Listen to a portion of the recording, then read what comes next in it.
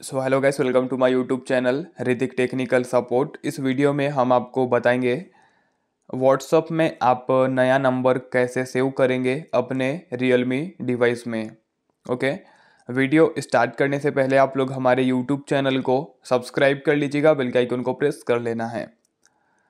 तो यहाँ पे सिंपल दो तरीके हैं नया नंबर सेव करने के। पहला तरीका, आप अपना डायलर ओपन करें नंबर डायल करें आपको यहाँ से डायरेक्ट कॉन्टैक्ट को सेव कर देना है। जब आप लोग यहाँ पे कॉन्टैक्ट को सेव करेंगे, अगर नंबर व्हाट्सअप वाला होगा तो ऑटोमेटिक आपके व्हाट्सअप में नंबर शो होना स्टार्ट हो जाएगा। या फिर आप अपना व्हाट्सअप ओपन करेंगे देन आपको चैट पे ऑप्शन मिलेगा न्यू कॉन्टैक्ट का सिंपल आप इस पर क्लिक करें। न्यू कॉन्टैक्ट पे क्लिक करने के बाद आपको कॉन्टैक्ट का नंबर डालना है और नाम डालना है।